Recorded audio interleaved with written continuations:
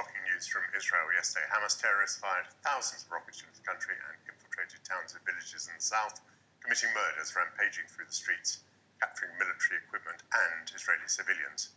Israel's defense forces were unprepared for the attack, which comes as Israel and Saudi Arabia intended to establish diplomatic relations.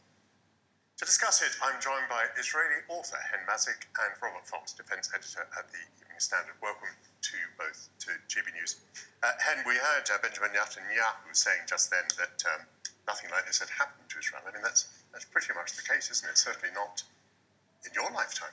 Yeah, absolutely not in my lifetime, and I would argue even probably one of the darkest days in Israel history.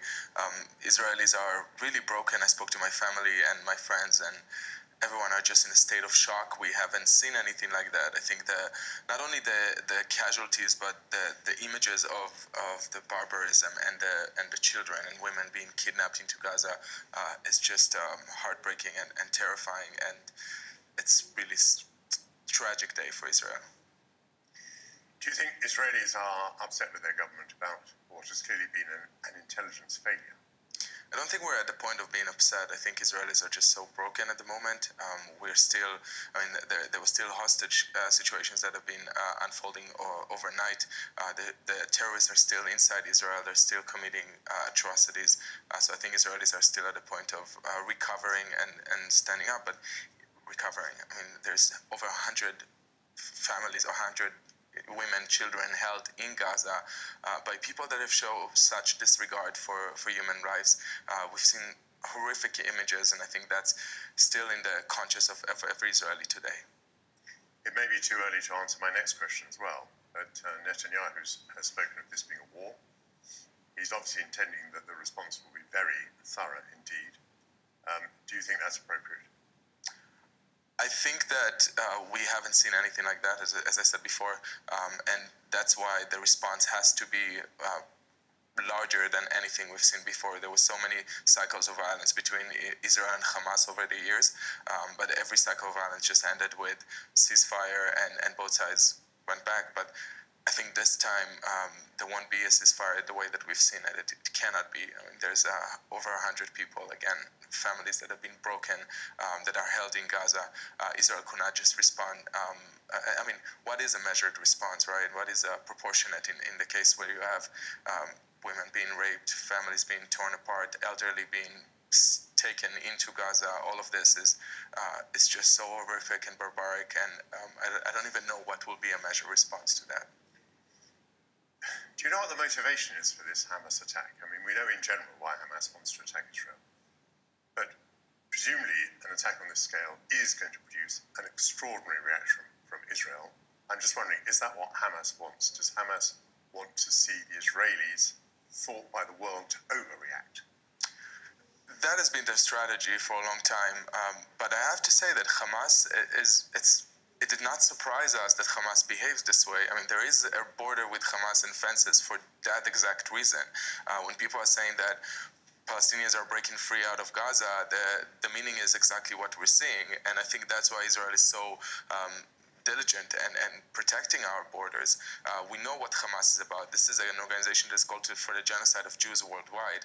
Uh, the whole ideology is, is like that. So for, for Israelis, while we are shock, shocked and broken, uh, we expect this from, from Hamas. We know that this is what um, they're about. So that's why I don't think that there is a strategy behind it more uh, for, for Hamas specifically. It's just this is um, what they are. And I think because we saw Joe Biden and Zelensky and leaders, Macron, uh, uh, leaders from around the world speaking up and condemning condemning Hamas so harshly, um, we're just happy that the world is seeing what Hamas is really about. Um, Robert, uh, talk about the link with this um, supposed restoration of diplomatic relations with Saudi Arabia. Is this um, this would be very unwelcome to Iran? Iran backs Hezbollah and Hamas. Is this the connection? It's in the background, but I think there's something that, that we just heard from Ken that's going on. There is a generation shift and in Palestinian militancy, there is a different degree of violence. And I would say, at one level, as we have seen with people indiscriminately shooting at civilians, why? Of amorality. And coming back to your Saudi point, I think there is a feeling amongst militant, extreme militant uh, Palestinians and Arabs, that the old Arab world, which would sponsor them through things like um, the Arab League, the Organization of the Islamic Conference, that's on other things that in fact that they have taken their eye off the ball with how toxic still the palestinian issue remains. But timing was everything here and that's where i do suspect there has been re- a real psyop psychological operational planning. And that's where uh, we were talking just before coming in here is it hezbollah in the north? Because in a way hezbollah and hamas have just to be rather strange about this, are odd bedfellows because Hamas grew out of a Sunni community. Hezbollah is largely Shia. That doesn't count in the new uh, multidimensional chess of geopolitics. Hamas, its sponsor, possibly Iran, Hezbollah, saw their opportunity. Yom Kippur, there was a sense somehow that things were asleep at the wheel in the command centers in Jerusalem and, and, and Tel Aviv and also that the big Arab world doesn't care. Let's go for it. And they've exploited a moment of weakness for Benjamin Netanyahu. Uh, he leads a pretty oddball coalition. Uh, he has been uh, in court. He's still uh, being investigated and prosecuted. So he's not the man that he was.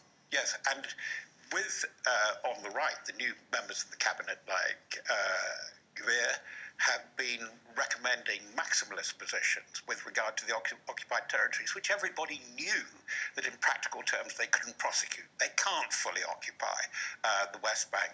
But now the big question is he's faced with a huge operational and tactical question, as you have put it so clearly, is what do you do about Gaza now? They're holding hostages there, and it's the degree which changes the quality, the number of this thing. And this is a very, very grave crisis. And, and Netanyahu was talking about forming a, an all party coalition during this crisis. Do you think many Israelis would welcome that? I think they will. I think Israelis have been um, torn uh, on on this internal social um, political issue um, of the judicial reform and and uh, overall, uh, and and there were you know hundreds of thousands of Israelis that came out to protest against it and against the government. Um, so I think at this time when we are so down, uh, Israelis want unity. That's something that we've seen throughout the years in, in every time of a war or a conflict or um, it's human nature when there's an external threat to come together. Yeah. Um, and I think in this case, Israelis would be uh, welcoming this this type of coalition. It's uh, early days. Um, thank you both very much for coming in on this Sunday. That's Hen Mazzig and Robert Fox. After the break, I'll be speaking to screenwriter Nicholas Martin, whose latest movie is poignantly timed. Golda follows Israel's only female prime minister as she faced the 1973 Yom Kippur offensive by Egypt and Syria 50 years ago.